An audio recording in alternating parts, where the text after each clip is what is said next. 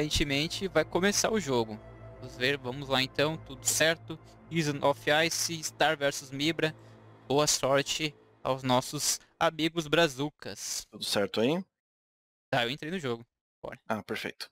Porque senão eu transmiti aqui no. Não, Nossa, não. mas você teria que configurar na hora isso. Não, é, bem é, difícil. eu ia puxar. Não, eu só ia. Tu abria, só jogava por cima do overlay e bora, mano. Vida que Uhum, segue. Sim. uhum. Star contra Striba. boa, boa. Star contra Striba. Ai, ai, daqui 5 minutos vocês vão, eu, eu- vocês vão ver eu rindo da piada. Triba.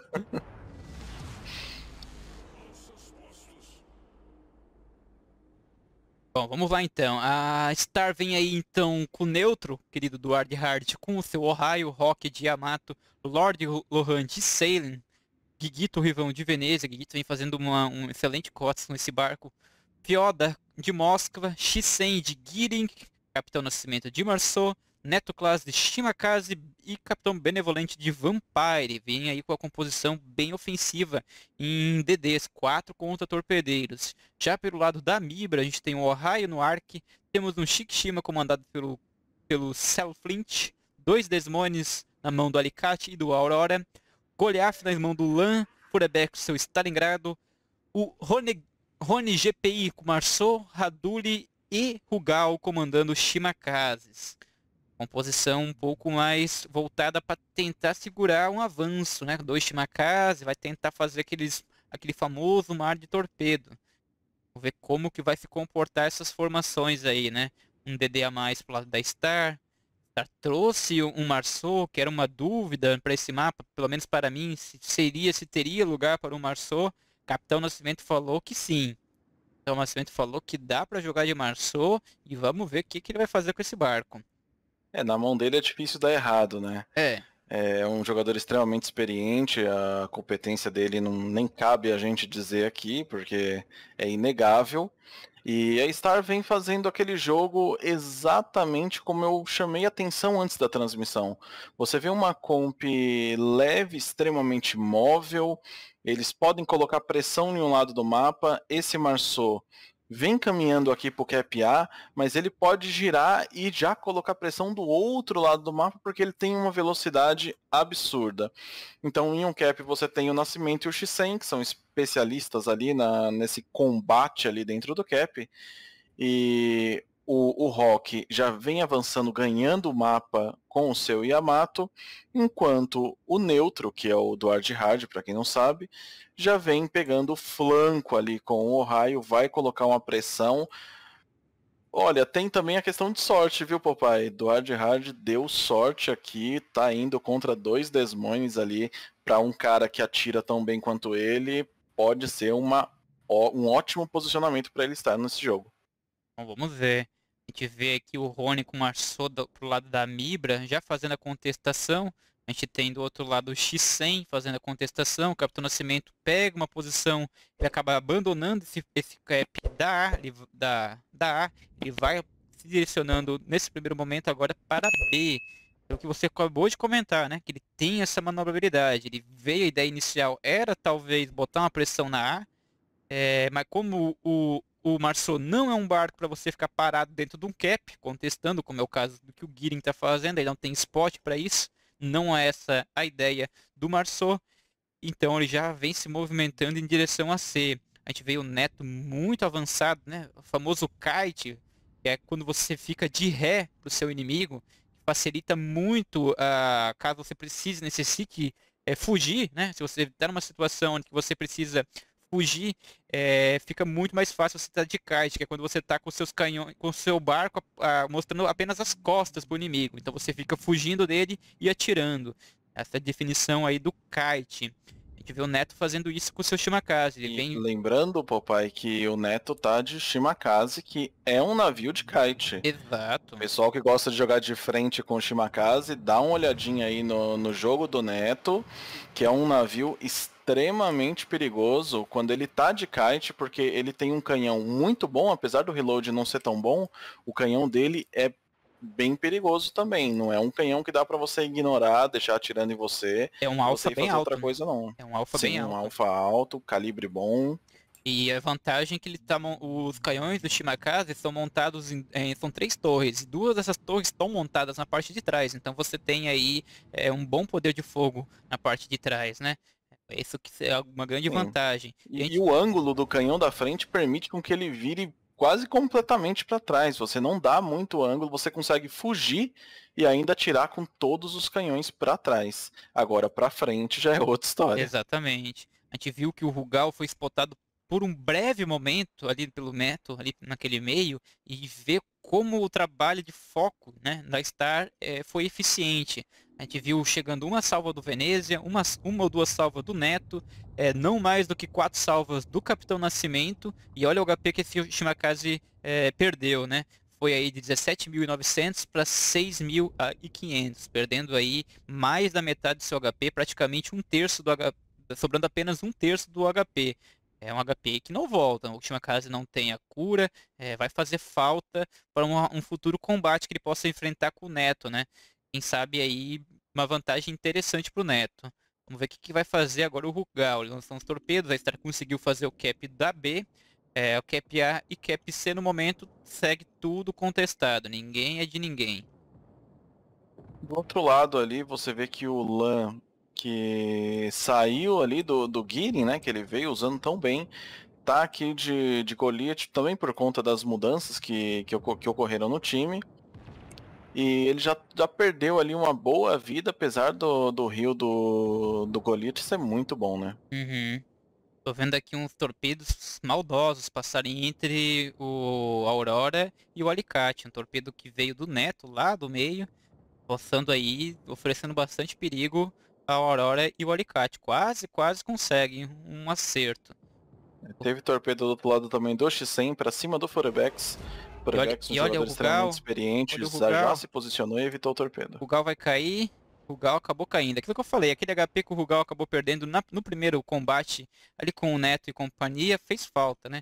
Sobrou apenas 6k. Enquanto você vê que o dano não voltou no Neto, né? O não. HP do Neto ali tá tranquilo, um navio que não conta com Rio. Então todo o dano nele é um dano real, um dano que vai até o final do jogo. E mesmo assim tá muito, muito safe ver agora o Furebeck sendo levemente focado. O Rock bastante punido com o seu Yamato. Segue avançando com o Yamato ainda, o Rock. Quem sabe a hora pro Rock talvez perder um spot. O problema é você perder o spot com um barco desse tamanho. Tem... Do, do outro lado, o neutro vem avançando para tentar dividir esse dano com o Fioda, que apanhou bastante aqui no flanco. Aqueles dois Desmoines, que era ali um, um, Olha o tiro que o neutro deu no Desmoines. E eu cantei essa bola no início do jogo, uhum. hein, papai? E eu cantei essa bola no início do jogo. É só viu o HP descendo. E tem torpedo chegando lá novamente do, do, do Neto. Se o Alicate decidir acelerar, Alicate decidiu acelerar, Vamos ver o que, que vai fazer o alicate. Será que vai girar? Ele ainda não viu esses torpedos? Ainda não viu. Agora deve ter visto. Tá começando a girar e explodiu. E levou. Ou, levou. Ou, ou tomava, ou tomava torpedo ou tomava cidadela, é, meu amigo. Não tinha muito o que fazer. É, essa esse uso de torpedos que, que a Star tem é, é, algo assim que os clãs brasileiros podem pode salvar o VOD aí, assistir o jogo, tentar entender o posicionamento dos DDs, porque é algo que você não vai ver em outros times aqui, cara. Que ver agora o Raduli vindo fazer uma cortina de fumaça pro Aurora. Tentar esconder o Aurora numa posição aqui mais vantajosa. Aí olha o Gearing, o Xei derrubou o Lan do outro lado. Enquanto a gente acompanha aqui a briga pela C, lá na A, teve torpedinho pra cima do Lan. X100 consegue a terceira baixa pro lado da Star. Star conseguindo então três eliminações. Apanhando. Quero só ver o que, que, vai acontecer aqui, porque o Capitão Benevolente tá, no, tá spotado. Ele acabou tomando um radar do Aurora. Vamos ver se salvo chegando no, no Aurora. Olha que tiro do Neutro. Consegue mais uma cidadela. Neutro vem fazendo uma partida excepcional com seu Ohio, hein? Sim, é algo assim por ter ali um, um convívio até que até que convivo bastante, né, com o Duarte Hard, no caso o neutro, né? Eu, eu entendo mais ou menos ali como ele joga, eu entendo mais ou menos é, o, o, ponto forte dele e os pontos fracos também. E eu olhei ali o, o, que estava se desenhando no mapa e eu vi que era um jogo para ele aqui nesse flanco. É, é, o jogo que ele gosta, cara. Esse é o jogo que ele gosta. Ele vai provavelmente explodir mais alguém aí. Yoda subiu o radar para spotar o Aurora, a Aurora teve que se movimentar, a Aurora tá numa situação complicada, Aurora tem vindo um, de, um, um Moskva e um Ohio puxando para cima dele. O próprio Benevolente abre smoke, abre canhão para cima do Aurora. Ele sabe que ele já gastou o radar dele naquele salvo anterior. Vamos ver agora o que, que o Aurora faz nesses minutos finais. Esses minutos é, podendo ser os minutos finais de play do Aurora nessa partida, né? E posicionamento inteligente do Aurora, hein? Tirou ali o tiro do Fioda e também do Neutro e mantém uma pressão absurda para cima do Benevolente. Vamos ver por quanto tempo ele vai conseguir manter essa posição. Neutro vai tentar desviar os torpedos, acaba não conseguindo. Sobrou um torpedo do Shimakaze do Haduri em cima do Neutro.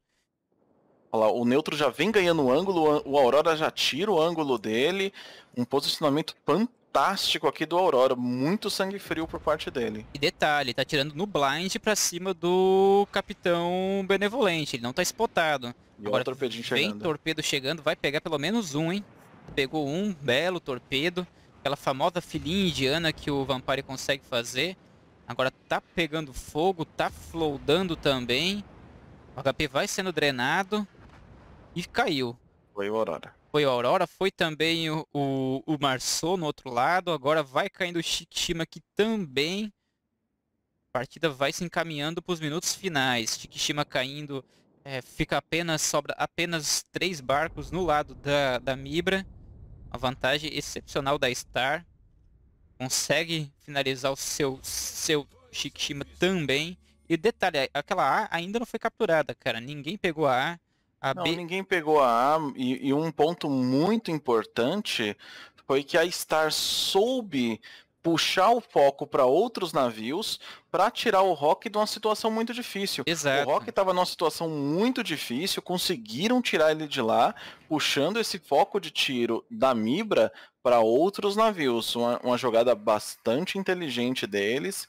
A Mibra, obviamente, não teve escolha, teve que atirar nos outros caras.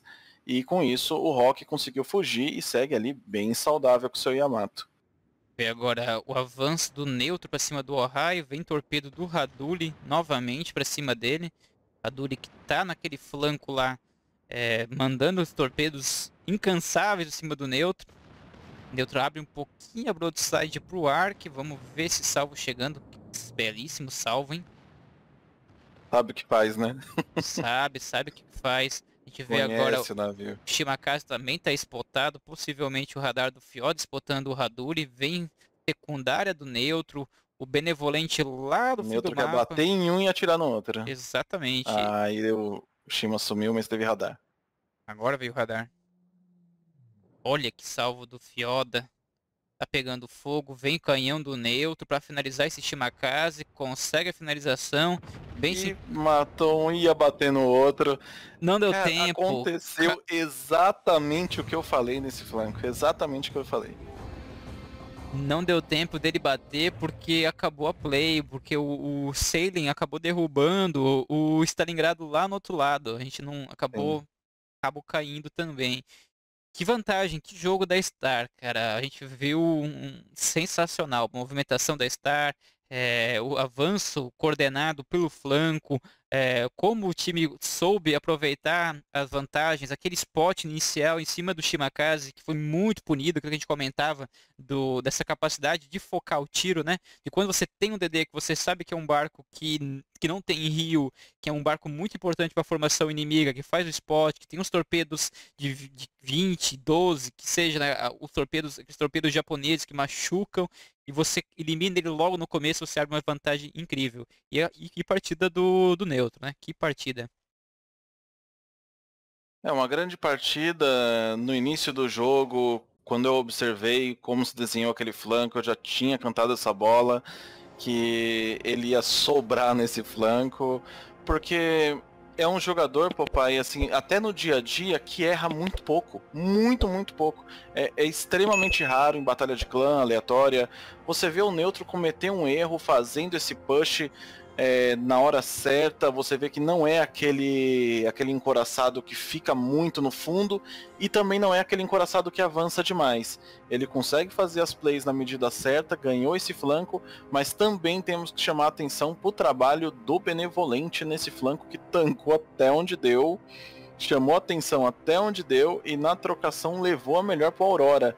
E também uma menção honrosa ao Aurora com um posicionamento fantástico fantástico ali colado na ilha, um controle do navio assim fora do comum. A gente sabe que é difícil controlar o Desmoines por conta da lendária dele, não sei se ele estava utilizando, acredito que sim. Uhum. É, é, é, um, se torna um navio um pouco mais difícil de controlar porque ele acelera muito rápido. Mas ele controlou, colocou o navio no ponto exato para não tomar tiro do Fioda pela frente e não tomar tiro do neutro que já estava puxando o flanco dele pelo outro lado. Infelizmente o Fioda muito provavelmente estava com um Hydro ali em cima dele, manteve ele spotado e o Benevolente não perdoa. Ali o Aurora foi embora. Mais um posicionamento controle de navio fantástico. Deu aula de Desmones ali no canto.